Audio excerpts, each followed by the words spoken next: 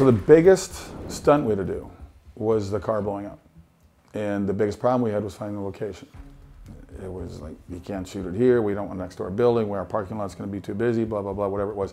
Permits, everything, we finally found the place. Well, it ended up being the coldest day of filming, not the coldest, but the coldest at that time. And it rained all morning. We had other, other scenes to shoot inside the building, so the pyro guys were out there working it out. Stopped raining, thank God. It's another small miracle. And they went over everything with all of us. Six cameras set up all over the place, slow motion up here, you know, regular time here, different, different, uh, different sort of film speeds. And uh, it was crazy because the scenes do start with the actors around the car, and the explosions are in there. So don't touch any button because it would blow up. And the whole idea is that um, the bad guys wanted to kill all three of those guys.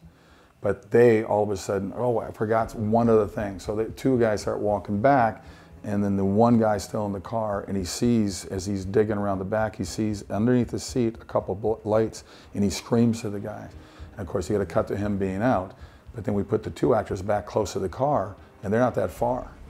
And then all of a sudden they run, run, run. They turn and thing, they start running as it just blows up. And we got so many great angles on it, and everybody. And it's weird because they had a dummy in the car, so when you watch it, you're going to see like half his arm from the dummy fall on the ground next to the flames, which is really kind of gross. But there's some truth to it too, and that was just dumb luck to have that happen. And you can't really, t- I knew what it was, we all knew what it was, but it doesn't show quite as much. You just see a couple of things fall out of the car, and you got to think, well, it's either a piece of a seat or piece of a body. So it's just funny to see something like that happen because everybody just goes crazy when it works out perfectly, and it worked out absolutely perfectly never done anything like that before. You know, we had a whole bomb squad come on set. We had six or seven different cameras at different heights and lengths, and like distances away.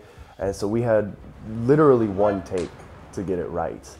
And, and I remember I was talking to Greg, who plays Buck, and he says, it's okay, I'm going to try to fight you on this because you're a big guy, I'm a big guy. He's, you know, 6'4", 260 pounds, and I was at the time 240, 250, and I'm 6'5", and I was going, Okay, cool. So when the explosion happened, or right before it happened, and he's running to the car, I yanked him so hard back that I actually ripped his zipper off of his jacket.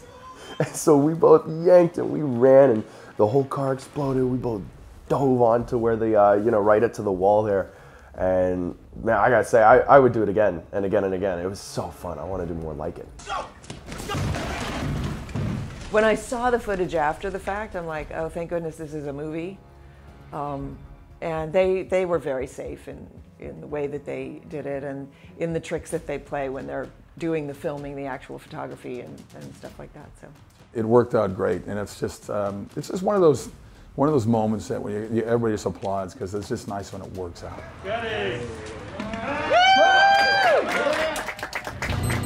It's a bomb! Run! Run!